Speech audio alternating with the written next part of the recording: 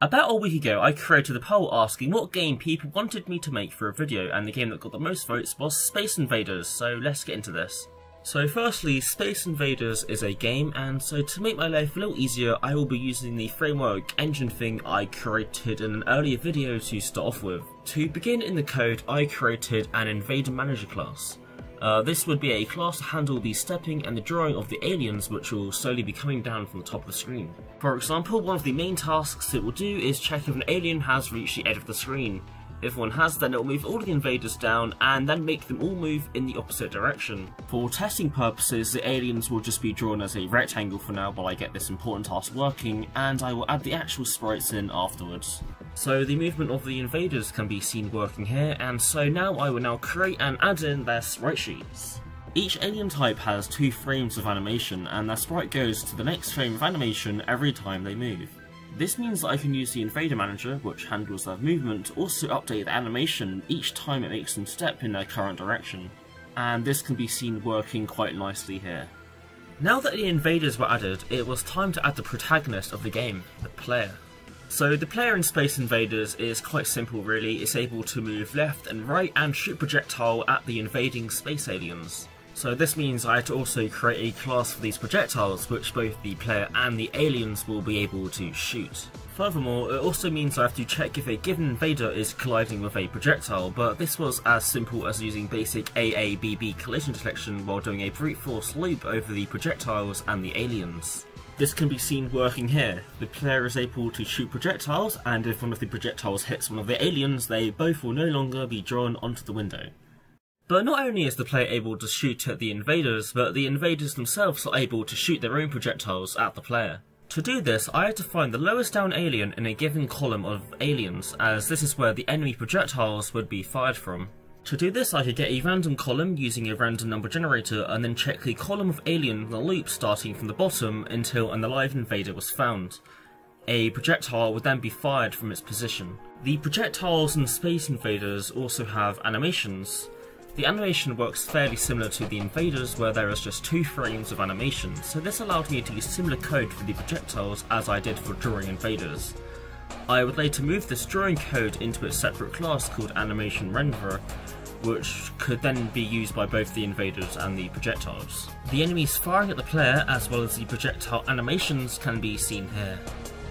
Of course, when the player is hit by a projectile in Space Invaders, they're supposed to lose a life. And when invaders are hit by projectiles, the player is supposed to gain some points. So I created a simple system for this, such as just storing an integer for how many points the player has, and increasing this number when an invader is hit and then I also created a way for this information to be drawn onto the window. And this simple system can be seen here.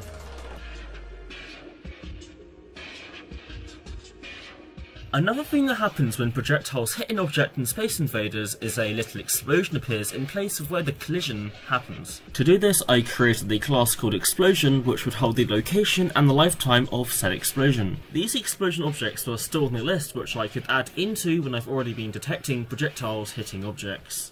And the explosions can be seen in effect right here. If you have ever played Space Invaders, you probably know there are four barriers or shields laying between the player and the aliens. The special thing about these is that they don't get destroyed the second a projectile actually hits them, but rather they are gradually degraded by the projectiles, creating holes wherever these collisions take place. So this got me wondering, how on earth can I actually implement this kind of behaviour in my game? In SFML in the graphics module there is a class defined called vertex, which literally defines a single point which can then be drawn onto a window. The nice thing about this class is I'm able to put a bunch of them into an STD vector and then render them all in a single draw call. On top of this, I'm also able to change the colour and position of the individual vertices, and all of these properties together makes them perfect for the implementation of the barriers.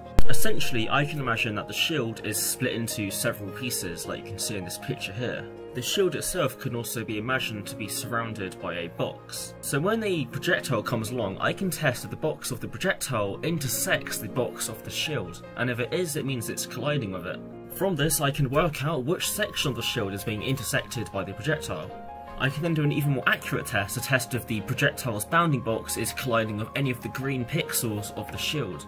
And if the projectile is colliding with the green pixels, then I can just turn the surrounding pixels black to simulate some kind of explosion. This was done by iterating through every single pixel in the shield section and testing if the position of each green pixel inside of the section was inside of the projectile's box. And if it was, then I can choose some random points around the collision point to turn black, thus simulating an explosion. So the four shields can be seen here, and as you can see when a projectile hits them, it causes a little hole in the shield. Another thing that happens in Space Invaders is when the game starts up, the invaders do not all appear at once, but rather they pop up on the screen one at a time until they are all there. To do this, I had to get a little bit creative as I couldn't use a for loop as this would cause the game to not update until they all appear. So instead I had to use a clock to add the invaders one at a time every few milliseconds, storing the position of the next invader to add as a class member of the invader manager class. And the result of the invaders being added one at a time can be seen here, and I also added in the UFO which flies across the top of the screen every so often as well. So the gameplay itself is now pretty much complete and the only thing left to add is menus. Creating the menus in that really wasn't too bad because it just involved using the classes that I had already made for my SFML framework thing and then just applying them to what I needed. So the first thing I wanted to create was the main menu which just involved creating a few buttons and then saying when this button is clicked change to the playing the game state or when this button is clicked exit the game. After the main menu was created, the last thing I wanted to do was create some kind of high score system for the game. Creating a high score system is something I had actually already done in the video where I created the game for a university competition, so I already knew how to do it, and I just had to apply it to C++ and Space Invaders rather than Python and the game I created in that video. And well, after doing that, the game was finally completed.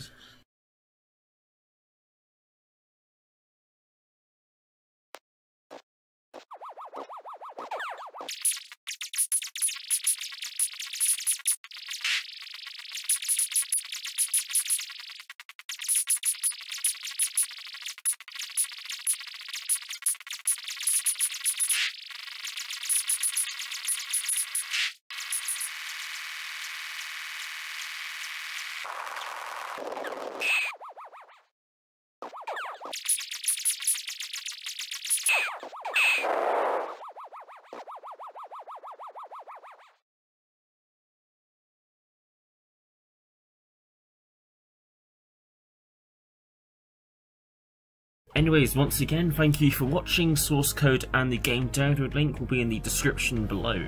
And lastly, I just want to say thank you to my patrons. So thank you Kilo Crazy Man, Snapier Soap 318, Synthetic aka Hayden, Timothy Gibbons, Somano, Alan Fernandez, Neil Blakey Milner, Alchemic and Nate Brown. So anyways, once again, thank you for watching and goodbye.